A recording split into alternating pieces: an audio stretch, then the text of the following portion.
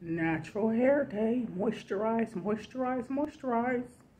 That's what I used. I twisted it. Sitting here right at work for about a half an hour. And I used Curl Enhancer Smoothie. Good old Vaseline. Curl Enhancer Smoothie and uh, Curl Enhancer Gel. And like I said, curl enhancer smoothie. And just twisted it. And it feels nice and airy. And it feels cool. And when I want to put my wigs on, it's already moisturized. Moisture, moisture, moisture. I can put the wig cap on, throw on a wig when I want to.